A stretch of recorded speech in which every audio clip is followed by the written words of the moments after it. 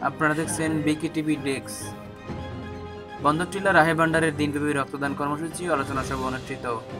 নগরীর বিজেতানাদিন রাহে ভান্ডার তরুণ আশেখান পরিষদ বন্দর শাখার উদ্যোগে পবিত্র জিকিয়ে মোস্তফা ও আশেখানে মোস্তফা সাল্লাহ সাল্লাম এবং ইদি মিলাদুল নবী সাল্লাহ সাল্লামে উদযাপনে ত্রিশ ডিসেম্বর শনিবার দুপুর বন্দরটিলা সাহা প্লাজা চত্বরে আত্মমানবতার সেবায় রক্তদান কর্মসূচি ও আলোচনা সভা পরিষদের সহ সভাপতি ডাক্তার রবিনের সভাপতিত্বে অনুষ্ঠিত।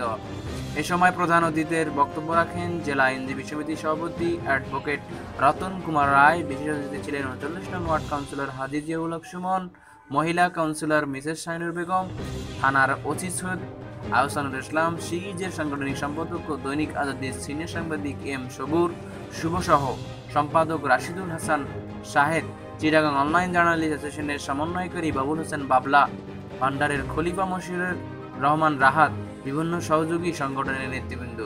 আলোচনা সভা শেষে অতিথিরা জেলা রেড ক্রিসেন্টের সহযোগিতায় স্বেচ্ছারক্তদান কর্মসূচি পরিদর্শন করে এর উদ্বোধন করেন ইবিজের থানার ভারপ্রাপ্ত কর্মকর্তা সৈয়দ আহসানুল ইসলাম। পরে সকল অতিথিকে রাহে ভান্ডার তরুণ আশেখান পরিষদ বন্দর শাখার পক্ষ থেকে বিশেষ সম্মাননা জানানো হয়। রাতে পবিত্র জিকি, মোস্তফা ও আশেখানে মোস্তফা সাল্লাহ সাল্লাম এবং ঈদে মিলাদুল নবী সাল্লাহ সাল্লাম উদযাপনে নুরনয় মাহফিলে প্রধান মেহমানের তকরির পেশ করেন। রাহেবান্ডার দরবারে প্রতিষ্ঠাতা সাজ্জাদানশীল মাওলানা সৈয়দ জাফর সাদেক সহ মা জি আ এছাড়া অন্যান্য আলেমওয়ালা মাসায়েকগণ বয়ান করেন। বিকিটিভি, চট্টগ্রাম।